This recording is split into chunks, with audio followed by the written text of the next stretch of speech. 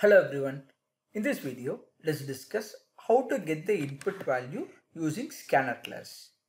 As usual, we'll start with import keyword. It is used to import the package in the program. So java dot java is the main package. To get the input value using scanner, we have to import util package because scanner class is present inside util package. So here if you are giving scanner here, it will import only the scanner class from the util package. If you are giving star, it will not import only scanner class, it will import all the classes which is present inside the package called util. Fine. Now I'll give the class. Class name is main. I'll give curly braces and then the execution of the program always starts from the main method. So the main method is public static void main string args. Okay, fine.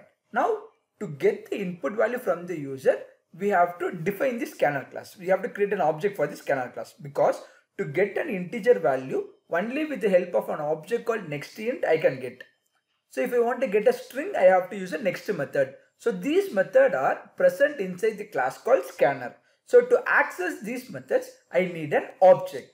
So I have to create an object for which class? Scanner class. Scanner is the class. This is called object name. Yes, see, I'm going to give the object name. Here, new keyword helps us to allocate memory to this object and scanner. So here, system.in. System is the class. In is the input stream which is used to get the input value from the keyboard. Okay. Yes. So I have defined the class. So that is the thing about scanner class. Now I want to get an integer value. If I want to get an integer value, I'll take a variable called a of type integer. I am giving equal to. So when I give equal to, the right hand side value will be assigned to the left hand side. So with the help of the scanner class object sc, I'm going to get the integer value. How can I get the integer value? With the help of the method called next nextInt. So the next nextInt method is present inside scanner class. To access this method, I need to have an object. So I have created an object. So sc dot next int, I'm getting an integer value from the user that I'm going to store it in the variable called a. So to check whether it is an integer value, I have to print and check system dot out dot print a. Let's run the code now. Yeah, we'll give the input value as 10. So here we have got the output value as 10. So to check whether this 10 is an integer or not, it can be a string, right? So to check that, I'm going to add a plus a. So if I give the input value as 10, I have to add 10 plus 10. So the output should be 20. Yes, I have got an integer value. Now I want to get a float value. If I want to get a float value, what should I do? Float f is equal to sc dot next float. I have to use the method called next to float. It gets a float value from the user and that will be stored in the variable called f. So to check that, I'll print f.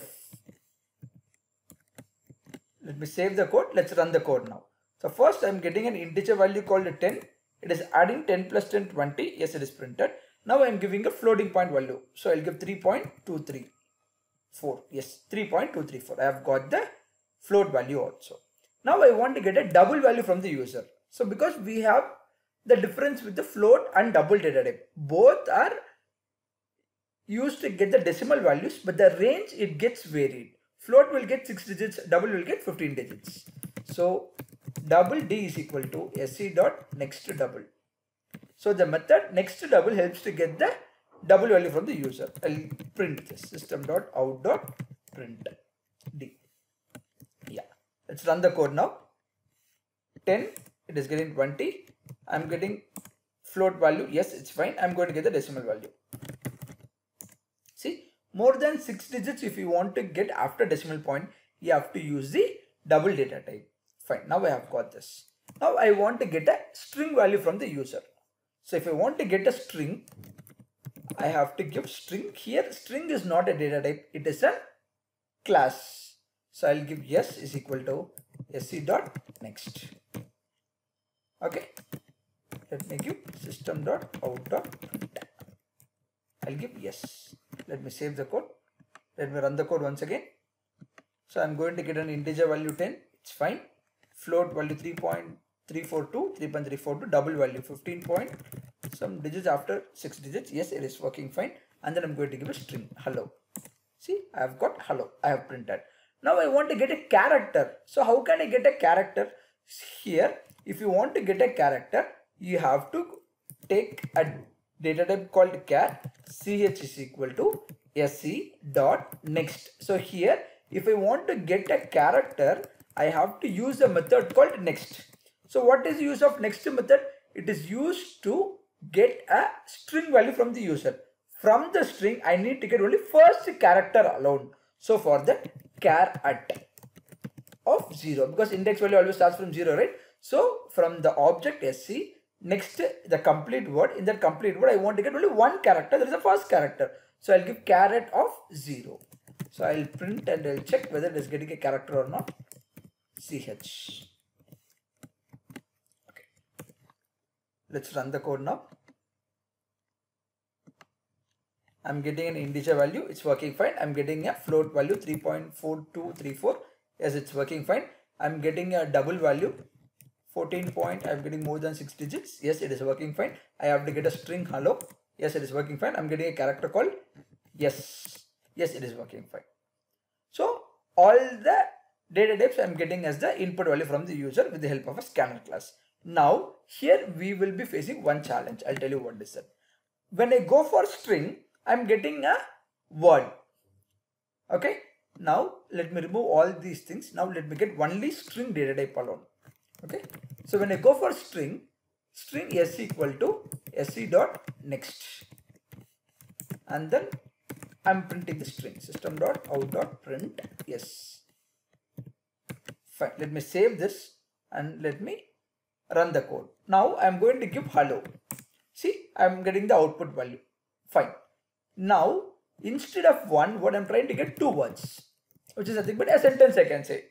So, more than a word, we call it a sentence, right, which is separated by a space. I'm going to get the input value as hello world. When I try to get the input value as hello world, I'm getting only hello as the input value. Why? Because the next method helps us to get the input value of a word alone. Whenever a space is occurred, it stops getting the input value and it goes. So to avoid this, if you want to get a sentence or if you want to get more than one word, you have to use the method called next line. You have to use the method called next line. It helps us to get a sentence as the input value from the user. Let me run the code now. Here I'll give hello world. See, I've got the output value as hello world. If I want to get a word as input value from the user, I can use a method called next. If I want to get a sentence or more than a word, I have to use the method called next line. That's all.